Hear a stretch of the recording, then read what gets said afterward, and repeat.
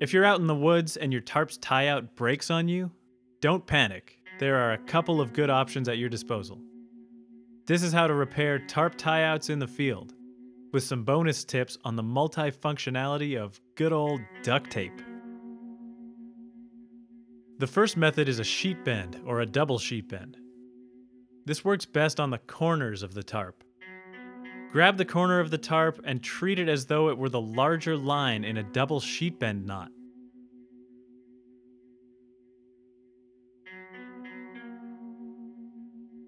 Fold it into a U shape and feed your line up into the U, wrap it around and back in between the tarp and the line. Repeat this wrap a second time and you've made a double sheet bend.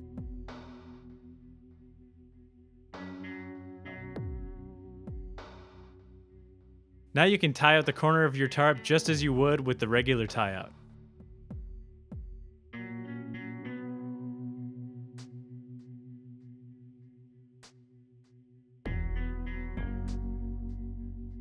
The other method is known as the button. Take a small object like a rock or an acorn and use it to create a new tie-out point wherever you want on the tarp.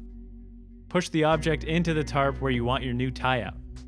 I'm going to use a cow hitch with a stopper knot to secure the line to the object, but plenty of other knots could work here if you prefer. First make a figure eight stopper knot on the end of the line. Then fold over a bight of the line to create these two loops. Rotate them around towards each other and slide the loops over the object on the tarp.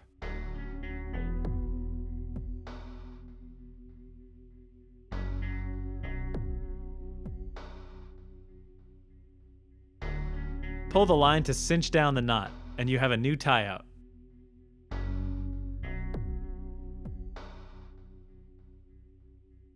And finally, duct tape. You could probably use a mess of duct tape to fix a tie out. I do recommend carrying a roll of small black Gorilla Tape, but save it for tears in the tarp's fabric or other emergency repairs like a canoe or your backpack. Gorilla Tape is a highly multifunctional survival item. It can be used to fashion containers, to improvise cordage, or as an emergency fire starting material.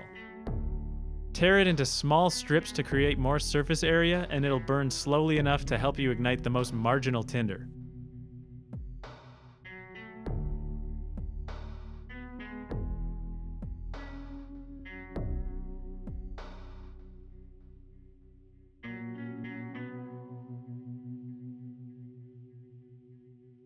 This small bundle burned steadily for over three minutes,